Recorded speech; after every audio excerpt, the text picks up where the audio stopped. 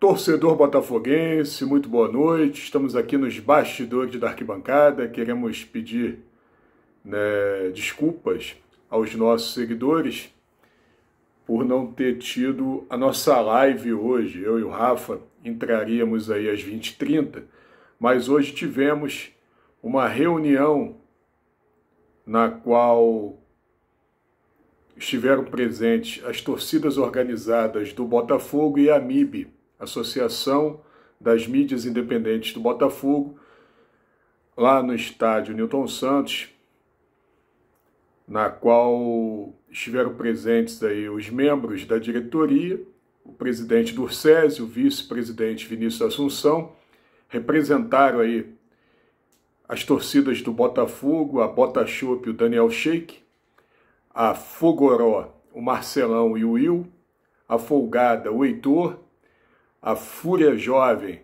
o J. Cavalcante, a Loucos pelo Botafogo, o Rafa, representando também os bastidores da arquibancada, a Resistência Popular, Edinho e Bárbara, e a TJB, o Chamister.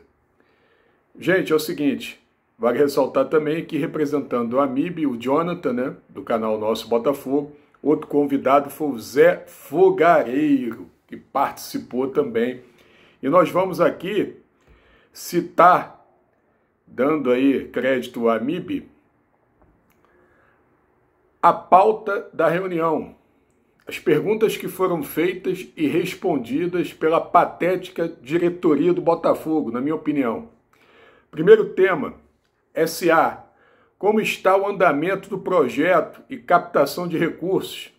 A resposta do presidente Turcésio evoluiu, porém não pode ser revelado como tudo no Botafogo, né? Vamos lá. Segundo tema, naming rights do estádio. Até o momento não tem nada. Vinícius Assunção colocou o vice-presidente do clube. Terceiro tema, sócio-torcedor. Houveram muitas reclamações sobre o novo plano de sócio-torcedor. O presidente do SESI acredita que houve uma evolução e diz que já tem 132 sócios, adesões no plano com direito a voto. Porém, devido à insatisfação das lideranças presentes, vê com bons olhos uma reformulação desse plano.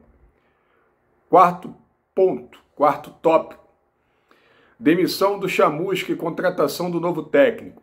Mantivemos o Chamusca no cargo devido ao profissionalismo dele e pelo fato dos atletas gostarem dele, mas também pela dificuldade que estamos em achar um novo técnico. Ninguém quer vir, foi o que o presidente Turcésio narrou. Temos três nomes na mesa. Estamos tentando, porém não podemos revelar os nomes. Vinícius Assunção. Luxemburgo não vem, pois ele pediu para incluir uma, uma das cláusulas contratuais que não concordamos, afirmou o presidente Turcésio. 5. Sobre o CT. Estamos formando um projeto para arrecadar fundos com a ajuda da torcida através de vaquinha e investidores, afirmou o presidente SESI. 6. Contrato do Campeonato Carioca. 2021 foi um ano teste, um ano de aprendizagem. Esperamos em 2022 um novo valor que seja mais lucrativo, afirmou o presidente do SESI. Sétimo tópico: lojas oficiais. Por enquanto, apenas parceiras, como a Foot Fanatics. Em novembro será anunciado um novo fornecedor de material esportivo. Pode até ser uma marca própria. Primeiro passo será o anúncio da nova fornecedora de material esportivos. Segundo passo será abrir as duas primeiras lojas oficiais. Terceiro passo é liberar para franquias. Oitavo e último tópico: venda de jogadores. Precisamos vender jogadores, como Caio Alexandre há um tempo atrás e o PV agora para aliviar nossas contas. Não daria nem para pagar a luz, nem a viagem para os jogos. Precisamos fazer essas vendas, afirmou o vice-presidente do Botafogo, Vinícius Assunção. O Chay não sairá. o Canu foi procurado pelo São Paulo. O São Paulo foi antiético, procurou o Canu sem passar por nós. Ofereceram valores ao Canu e ele ficou chateado porque não liberamos. Mas ele está satisfeito, pois ele sabe da importância dele, é um líder, dizendo Durcésio. O camisa 10, pasmem, serão os salários em dia, afirmou Vinícius Assunção.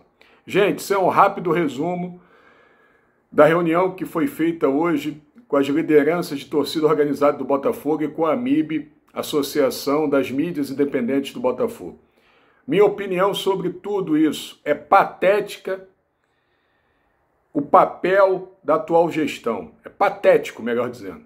Patético, realmente tudo muito previsível, não tem nada de novo, estão como cego em tiroteio, infelizmente, estamos à mercê da própria sorte, não existe profissionalismo, não existe um norte para o Botafogo. Infelizmente, é estarrecedor você convocar as torcidas do Botafogo, as lideranças da torcida do Botafogo, influenciadores digitais para ouvir essa abobrinha de sempre, essa mesma história de sempre.